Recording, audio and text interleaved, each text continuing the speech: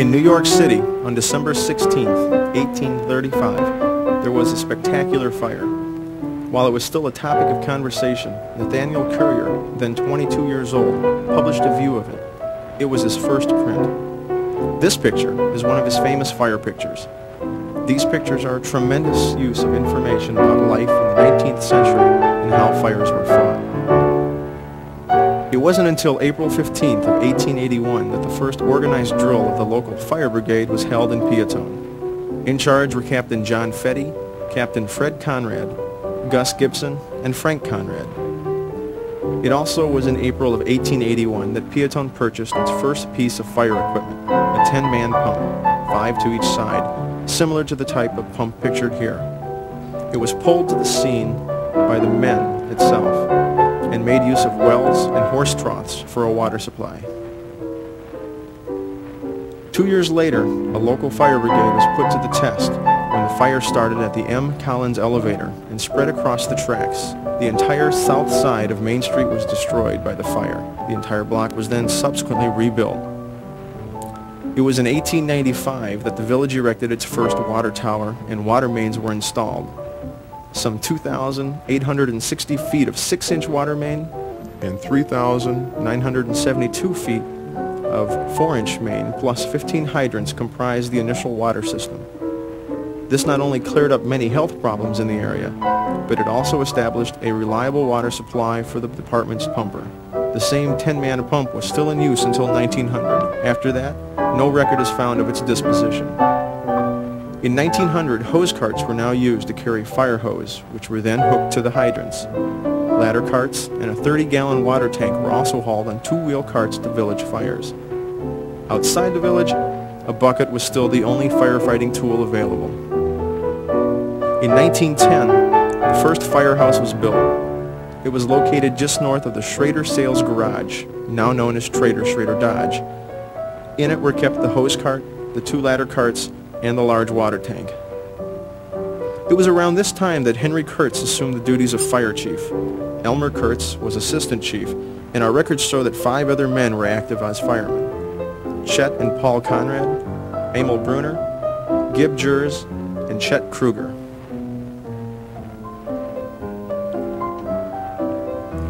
In 1912, the Peotone Volunteer Fire Department was organized.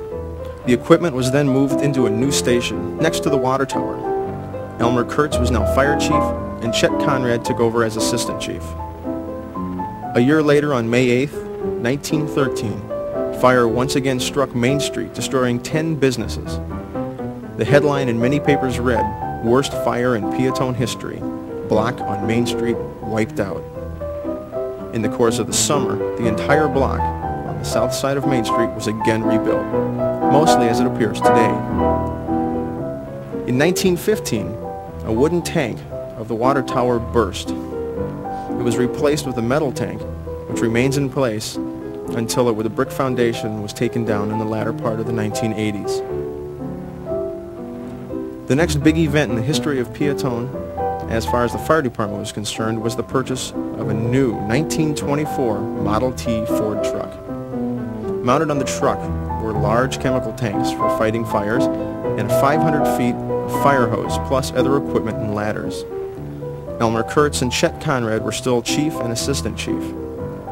1924 also marked the year that a new village hall and fire station were built, along with a new pump for the well. The headline of May 5th, 1928 read, Blaze this morning is disaster. Had just finished a new high school annex to the grade school building. The annex alone cost the school system $55,000. A fire broke out sometime around 1 in the morning and did about $95,000 in damage to the annex and the original building. The entire upper story of the annex and the entire old building were destroyed. All school records along with the personal belongings of the students and faculty were lost. A call for help went out to Kankakee and to Chicago Heights. Unfortunately, Kankakee was unable to respond due to a high number of local fires. Kankakee had only two pumpers in the entire city at this time. Chicago Heights did respond with a pumper. Unfortunately, the fire had gained too much momentum before they arrived, and nothing could be done. Peotone, at the time, had only the Model T Ford truck, which carried only some water, hose, and some supplies, but had no pumping capacity. 1931 brought change to the fire department. With the death of Elmer Kurtz, Chet Conrad was appointed chief. Alvin Harms and Paul Conrad were appointed assistant chiefs and were later joined by George Lindeman and Emil Kennecke as assistant chiefs. A second fire truck was purchased in 1935, a new Seagrave fire truck with a 500 gallon per minute pump, two and a half inch hose, a reel line, and a water tank. This now joined the Model T as the second fire truck in Peotone and the first with pumping capacity. 1940 marked another big step for fire protection in Peotone. It was this year that Chet Conrad, the chief, was successful in setting up the organization of a rural fire department. After its passage by vote, it consisted of 375 members and was supervised by 12 directors, elected annually by membership. With the membership dues collected, the rural fire department purchased a Chevy fire truck with a 500 gallon per minute Seagrave pump and water tank. Also in 1940, another tradition was started. This year marked the first of the annual Fire Department Sportsman Turkey Raffles. The only difference from the raffle held in 1940 and the one currently held is that the original raffles, all the turkeys and ducks that were raffled off were alive, not frozen.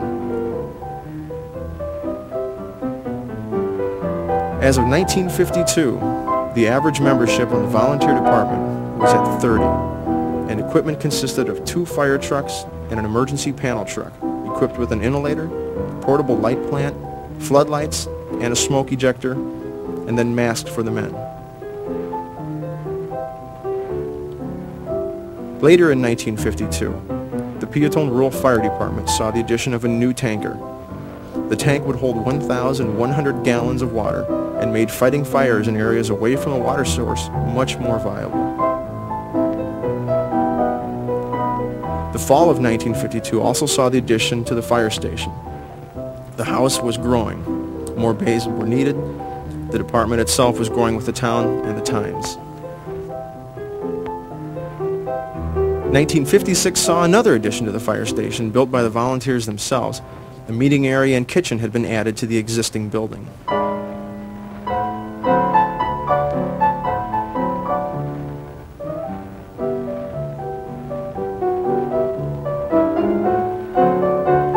The Peotone Fire Department saw change again in 1958. Chet Conrad was stepping down as chief. Emil Kennecke was appointed to take his position. George Lindeman and Osmer Knickerham were appointed assistant chiefs. Three years later, the Peotone Fire Department purchased a new village fire truck. It was a 1961 engine with a 750 gallon per minute pump and a 500 gallon tank, along with hose and other equipment.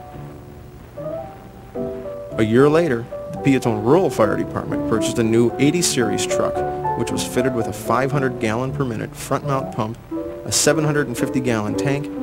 Again, the truck was equipped with hose, ladders, and all other needed equipment.